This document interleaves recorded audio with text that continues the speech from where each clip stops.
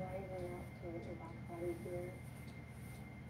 Literally, but yes, of course, this is the that I'm just kind of acknowledging the pain and that of and that it feels good to them.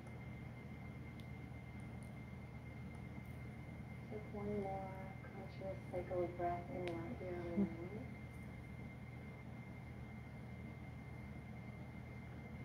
And when you're ready, you can keep working with the eyes closed, or you can open the eyes and of course keep it whenever you need to. Hands are connecting definitely on your low ribs here. So I'm feeling the tailbone up just a bit so that your lower back becomes with the mat. And you can feel your lower abdominal wall turn on. Okay? And if you want, you can slide your hands down to your lower abdominal wall and just kind of feel those muscles. And